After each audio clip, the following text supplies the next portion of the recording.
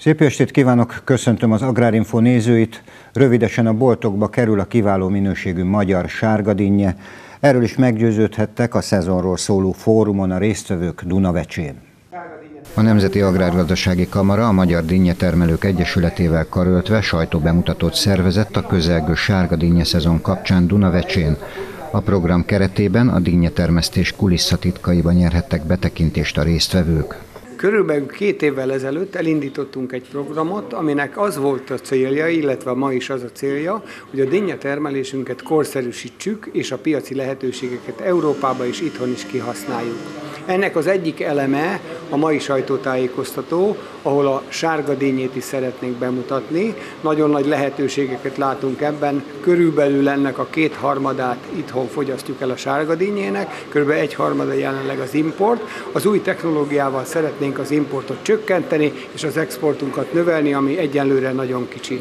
A görög dinnyénél viszont egy nagy átrendeződés pillanatait éljük. A békési területen ami ugye délen van, csökken a termelés, talán a klímaváltozás is közrejátszik ebbe, de ott nagyon magas technológiával megy, és az északi részen Szabolcsban növekszik. A többi termőtájon Hevesbe, Jásságba, Tolnába és Baranyába viszont standarden megvan. Mi ennek a magyarázata? Tulajdonképpen arról van szó, hogy szeretnénk széthúzni a dinnyetermelés időszakát, egészen június elejé, közepétől szeptember közepéig végéig, és nagyon szeretnénk, hogyha emellett az exportunkat stabilan meg tudnánk tartani, és növelni tudnánk. Emellett néhány technológiai elemet is szeretnénk fejleszteni, tulajdonképpen már az oltott dínye területén a dínyetermelésen polgárjogot nyert ez, de van egy új fóliaház alatt is kezdenek termelni termelők, ami azt jelenti, épp itt a sajtótájékoztatón bemutatunk, ott már érett görög dényéket szednek. Én azt gondolom, a jövőben ez is terjedni fog Magyarországon. Tehát úgy érzem, hogy egy komoly fejlesztés és átalakulás időszakát éljük mindkét dinnyetermék területén. Mennyit segített az a kormányintézkedés a termelőknek, hogy lehetővé tette, hogy a, az import dinnye visszaszoruljon? Én úgy gondolom, hogy a kormány minden segítséget megadott arra, hogy a dinnye termelés is fejlődjön. A vidékfejlesztési program keretében olyan technikai és technológiai elemekre lehetett pályázni, de itt gondolok akár az öntözésre is, aminek még ugye egy csomó intézkedését újra át kell gondolni, ami segíti azt, hogy korszerű technológiákat tegyünk. Úgy néz ki, hogy stabilizálódott a görögdinnye termelésünk területe 4800 hektáron, tavaly is ennyi volt és idén is ennyi. Annyi a különbség, hogy tavaly az időjárás és egyéb piaci problémák miatt csak 160-170 ezer tonna termés tudtunk megtakarítani. Idén most úgy néz ki, bár május elején még mintegy két hét előnybe voltunk a korábbi időszakhoz képest, de a májusi esők után visszatértünk a normál időbe, elveszítettük ezt a két hét előnyt, úgyhogy július elején fogunk megjelenni a görög dinnyével. A sárga dinnyét pedig a mostani pillanattól kezdve egészen a fagyokig tudunk majd Magyarországon kínálni a lakosságnak. Kivételesen fontos, hogy nem csak maga a termény áruképes értelemszerűen, hanem a feldolgozás is kiemelten fontos. Hogyan tudnak ebben segíteni? Voltunk két nagy szakmai úton. Az egyik a görög dényét érintette Spanyolországba termelőkkel, a másik Olaszor, Észak-Olaszországba sárga dínye termelőkkel. Pontosan azt akartuk megnézni, és azt szeretnénk tovább fejleszteni, hogy a csomagolás, a válogatás, a minőségű árunak a piacra juttatásába új ö, módszereket, eszközöket találjunk. Én azt gondolom, hogy ebben most egy komoly fejlődés előtt állunk. A találkozón a Dinnyetermelők Egyesületének elnöke széleskörű tájékoztatást nyújtott a gyümölcs hazai helyzetéről, arról a munkáról, ami lehetővé teszi és bizonyítja, van jövőképe a gazdáknak. Göcő Mátyás arról a jó szerveződő érdekképviseletről számolt be, amely teszi a dolgát. Ugye elérkezett egy újabb szezon, ugye egy újabb értékesítési szezon előtt állunk. A termelők egy igen kacifántos és bonyolult tavasszal kellett, hogy megküzdjenek ahhoz, hogy a görög dinnyék leszedésre kerülhessenek. A dinnyetermelők egyesülete mindent megtesz azért, hogy a dinnyetermelők érdekeit próbálják képviselni az országban. Mindez idáig a mennyiség és a minőség kézen fogva járt. Így van ez az idén is?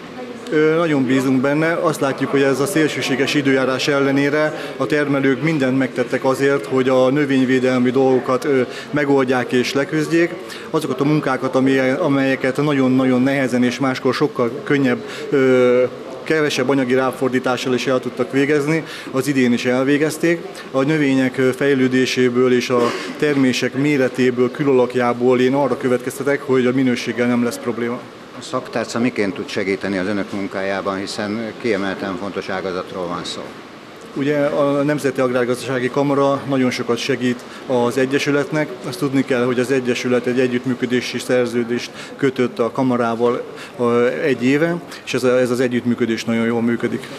Ez a mai fórum rendkívül érdekfeszítő lesz nyilvánvaló, hiszen nem csak a szedés, a válogatás, hanem a feldolgozás is fókuszba kerül. Mennyire fontos, hogy feldolgozott állapotban is elkerüljön a vásárlókhoz a dinnye?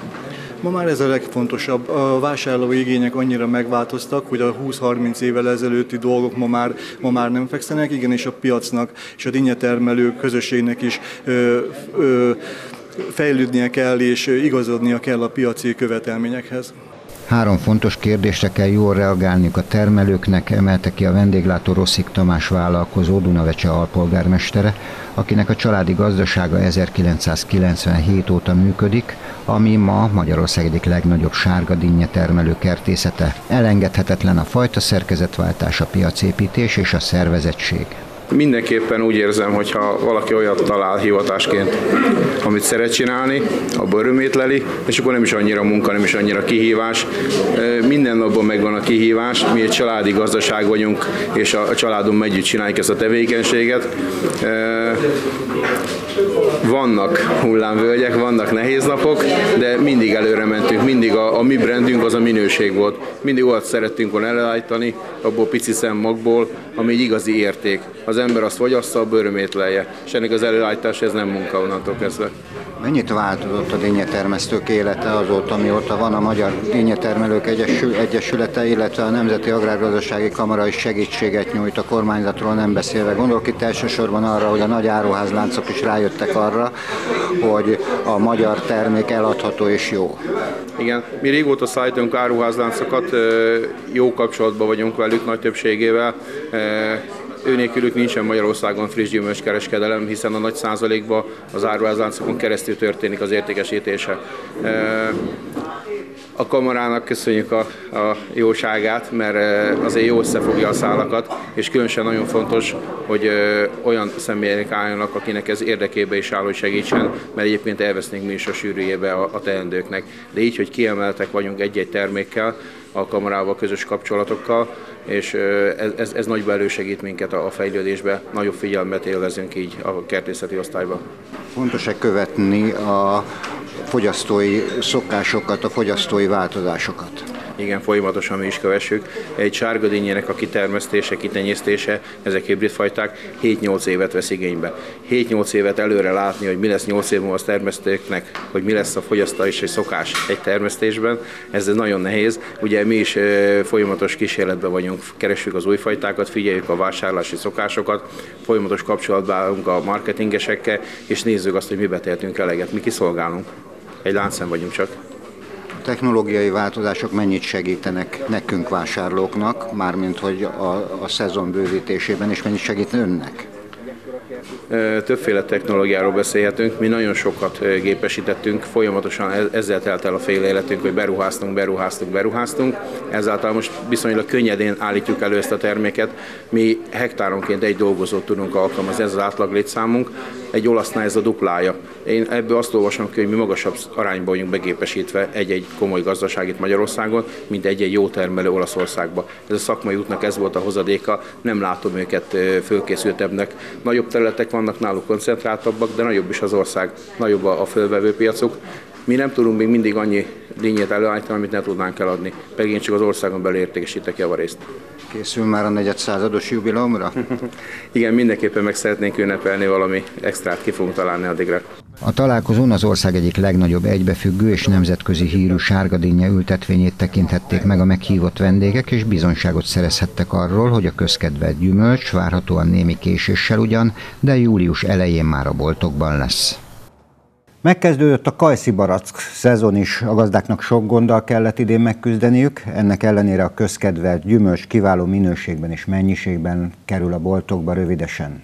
Az elmúlt időszakban nagyon sok panasz szó érte az időjárást, a szélsőséges időjárás bizony a klímaváltozással együtt alaposan megnehezítette a, az agrárgazdák dolgát. Hogy állnak, hogy állnak ebből a szempontból a gyümölcstermesztők, hiszen nagyon is tudjuk, hogy a kajszi barack meg az egyéb gyümölcs meglehetősen kényes. Hát kezdődött ugye már a szamóca szezonban a problémákkal. A szamócának a javarészét az eső elmosta, Utána jött a probléma a cseresznyeszüretkor, 24 óra alatt 61 mm csapadék hullott le. Ez akárhogy védekeztünk a cseresznye kirepedése ellen, nem sikerült megvédenünk, úgyhogy a cseresznye termésünk nagy része kirepett, de hasonlóan sok más gazdánál ugyanez volt a helyzet. A sárga barack egy része ugye elfagyott, a másik részét ez a rettentő sok hirtelen csapadék kirepesztette, ezért eladhatatlanná vált.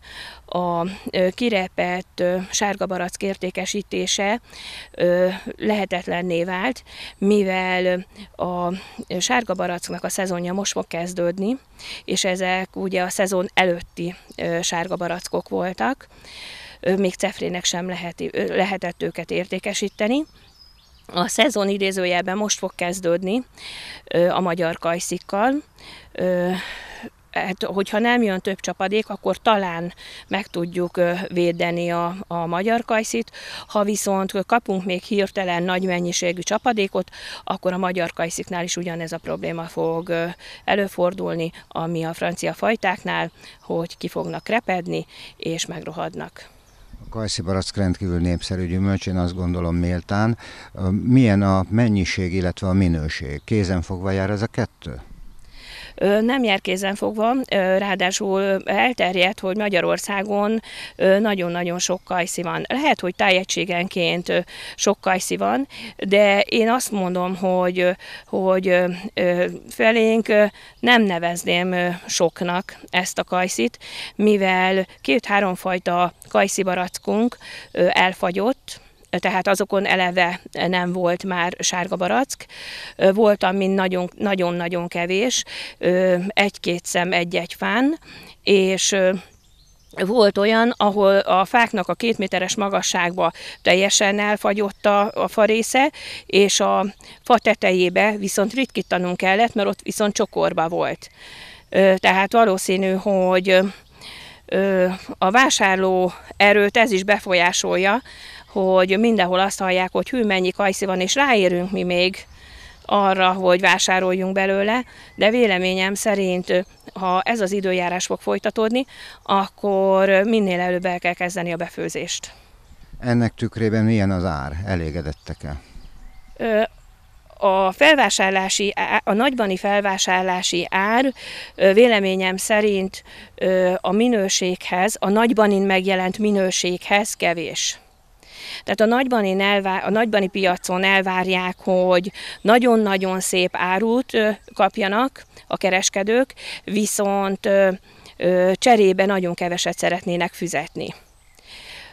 Ez nyilván azzal is összefügg, hogy őtőlük is a vásárló olcsóbban szeretné megvásárolni az árut, és ebből a szempontból azt veszem észre, hogy inkább az olcsóbb és nem túl jó minőségű áru a kelendő. Nagyon fontos kérdés, hogy van-e elegendő munkaerő, hiszen gyakran panaszkodnak ebben az időszakban a gazdák munkaerőhiányra. Nálunk a munkaerőre ö, nem volt panaszom soha, és most jelenleg sincs. Ö, Igaz, hogy teljesítménybért fizetünk, viszont ez együtt jár azzal is, hogy a minőségre nagyon oda kell figyelnünk, hogy a dolgozó hogy szedi le azt a gyümölcsöt, mert a teljesítménybérezésnél nagyon gyakran előfordul az, hogy leszedi éretlenül a gyümölcsöt, vagy lerázza a fát és a földről szedi fel a gyümölcsöt mi úgy dolgozunk, hogy körülbelül öt emberre van egy felvigyázó, aki figyeli a minőséget is, és nem csak a mennyiséget. Ha összegezni kéne itt most a Kajszi Barack oldaláról, akkor milyen ez az esztendő? Közepesnek mondható. Velencén szemlézett a Virágos Magyarország program zsűrie, a szakmai grémium ellátogatott a Velencei Tavi szimpózion alkotótáborba is. Velencére látogatott az idén negyedszázados jubileumát ünneplő Virágos Magyarország program szakmai testülete. A vendéglátóváros polgármestere Koszti András bizonyosabban, hogy a település az elmúlt évekhez hasonlóan idén is előrelépett. Nagyon fontos a környezetudatosság, másrészt nagyon fontos a közösség. Én azt gondolom, hogy Velencén mi itt mindkettőt nagyon komolyan vesszük, és ezáltal nagyon komolyan veszük a Virágos Magyarország versenyét is.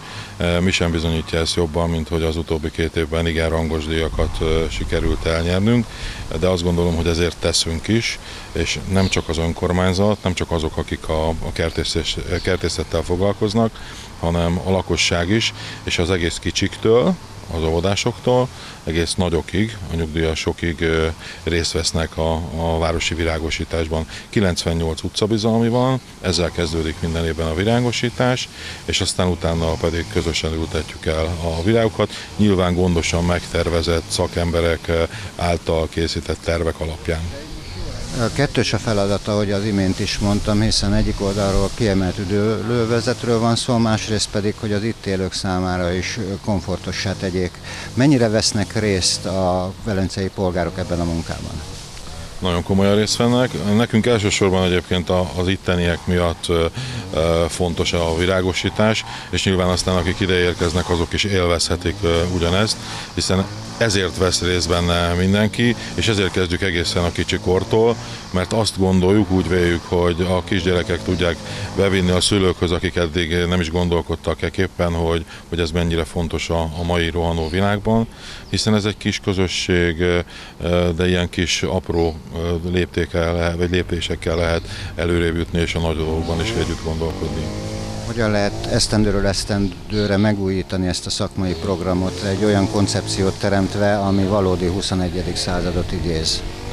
Ezt gyakorlatilag minden évben változik a verseny kiírása, és ugye nagyon fontos, hogy a verseny kiírást hogyan tudjuk értelmezni, és természetesen, hogy milyen keretünk van mindehez, és ezt mind a kettőt figyelembe vesszük, és igyekszünk mindig megfelelni. Egy kicsit folyamatosan bővítjük az évelő növényeket az egynyáriakkal szembe, és talán ez hozza meg mindig az eredményt.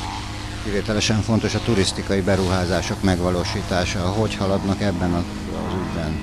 Szerintem Velence visszakerült a turisztika térképére, Magyarországon egész biztos vagyok benne. Nagyon komoly vendégészaka számot tudunk produkálni, nagyon komoly területeink vannak, amik rendkívül közkedvelt a magyar, magyarországi turisták körében.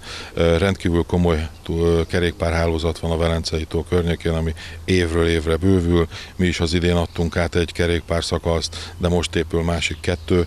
Úgyhogy én azt gondolom, hogy ez a multisport sport és a turizmus egy kicsit össze, összekezd forni, és hál' Istennek, ami az eredeti célunk is volt, hogy már megjelentek a versenysportok is Velencén. Ugye most itt van a Virágos Magyarországért regionális zsűréje, milyen tapasztalatokkal bírnak? Nyilván nem a, az alapvetéseket kérdezem, hiszen azt megőrzik maguknak, de azért nyilván néhány dolgot megjegyeztek. Hát magasra tettük a lécet, a zsűri nagyon komoly szakemberekből áll, és ezért mindig, mindig többet várnak tőlünk, mi ezeknek igyekszünk megfelelni. Én azt gondolom, hogy a kollégáim, akik a városvezetés részéről ezzel a feladattal lettek ellátva, vagy megbízva, ők minden évben oda teszik magunkat, és, és ezért tudunk jól teljesíteni.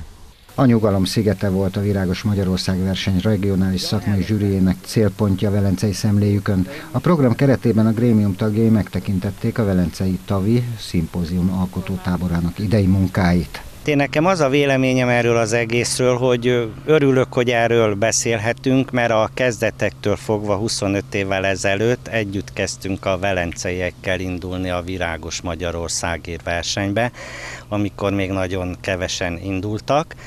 Hát Fehérvár ugye megnyerte a város kategóriát 95-be, 96-ba az európai ezüstdíjat, és utána Velence is nyert város kategóriába ezüstdíjat, és ami nagyon tetszik, hogy a 25 év alatt, ahogy végigkövettem a dolgokat és zsűriztem, hogy annak ellenére, hogy rendszerváltás volt közben, vezetőségváltás, városvezetésváltás volt, ugyanolyan lendülettel haladt tovább a település fejlődése, épülnek, szépülnek, egyetemváros lett, szállodájuk van, uszodájuk lesz, hihetetlen, hogy mekkora fejlődéssel, és nem úgy vannak vele, hogy most elértünk valamit, és akkor leállunk, hanem minden évben igyekeznek új dolgokkal előrukkolni, és elmondták a zsűri előzetes megbeszélésén, hogy a jövőben milyen fejlesztési programokat akarnak végrehajtani a városba. Melyek most a kiemelt szempontok a szakavatott zsűri szerint? Most a, a kiemelt szempontok, azt nagyon sokan nem tudják, hogy ez a Virágos Magyarországért mozgalom a virágosítással indult. De most már ez kinőtte magát, túllépte, és van ilyen, hogy a, a település felkészültsége, környezetvédelem, turisztikai szempontok és a zöld felület az csak 50%-ba mérvadó az egész versenymozgalomba. Egy ilyen koncepció, amelynek mentén itt most elkészül ez a sziget, tehát próbálják hasznosítani, hiszen tudjuk, hogy ez jószerivel egy dzsumbúj. Milyen szemszögből nézik ezt a területet? Én nagyon meglepődtem rajta, mert 72-től élek Fehérváron, és most, hogy erre a csodálatos szigetre elhoztak, és ez végül is lesz egy rekreációs központ, és tényleg, ahogy elmondta a projektvezetője, hogy rengeteg ember költözik be Velencére. Na most itt egész évet meg kell tölteni programokkal, ezeknek a magasan kvalifikált embereknek, és jönnek, és mindenki újat alkot, és ezzel is növelik a város hírnevét, és hát ez egy nem utolsó szempontban szinte egyedülálló kezdeményezés az országban. A természetközeli művészeti alkotások, amelyek egyben koncepciózus üdvözlő művek, megtartva a sziget millióének egyedi varázsát, olyan új utakat mutatnak, amely gondoskodó szeretettel ruházza fel az alkotásokat. A térben a tér térrel való ö, együtt munkálkodás az egyik ö, legfontosabb szempont.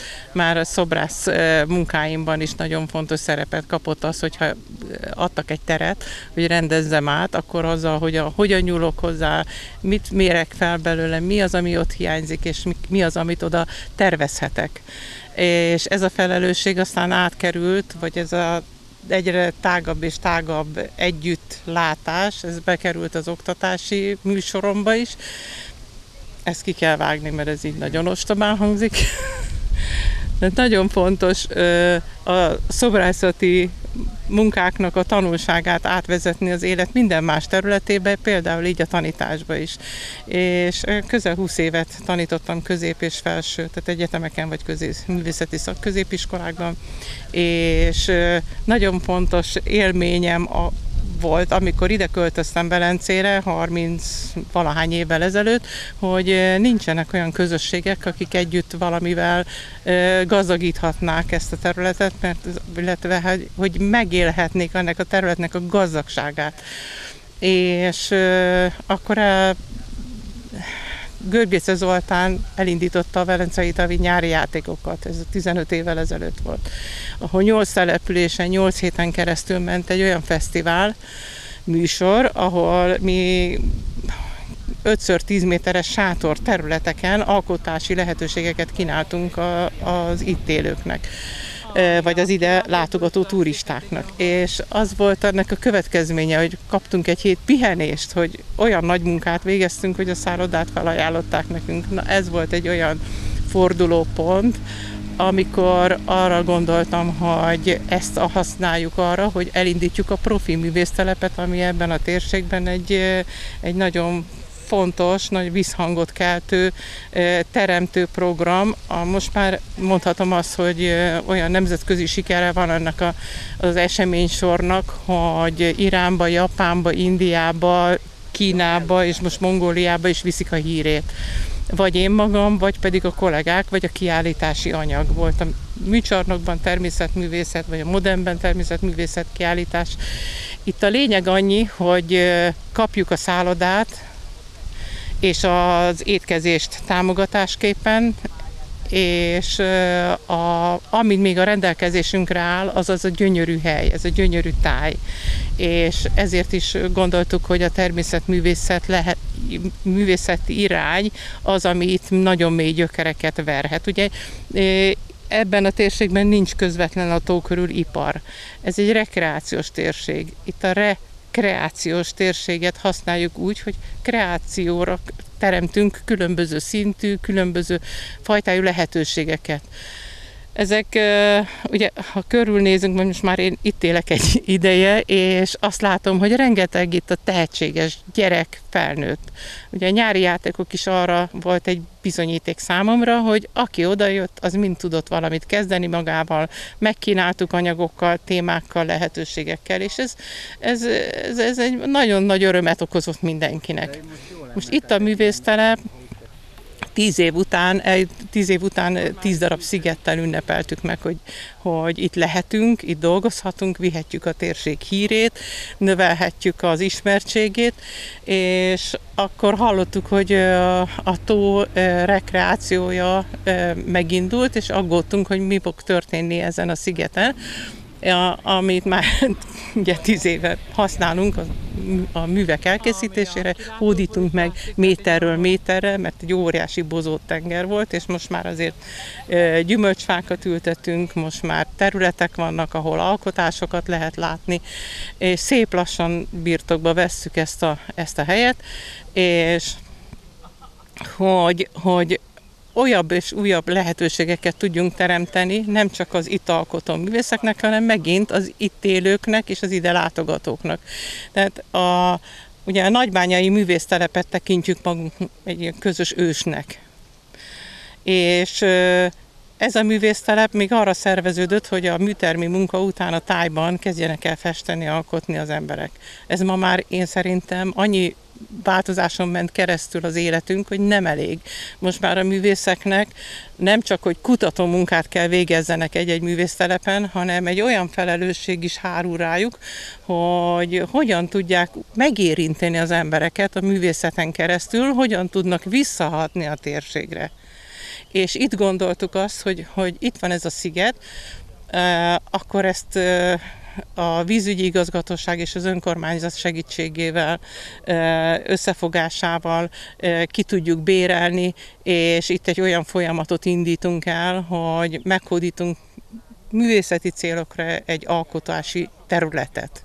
A szimpozium művészei megerősítették, folytatják azt a munkát, amelyel amellett, hogy megőrzik a sziget természetes struktúráját, igazi közönségbarát helyszíne lehet művészi találkozóknak is. Kedves nézőink, köszönöm megtisztelő figyelmüket, találkozunk a jövő héten ugyanebben az időpontban ugyanitt. Viszontlátásra!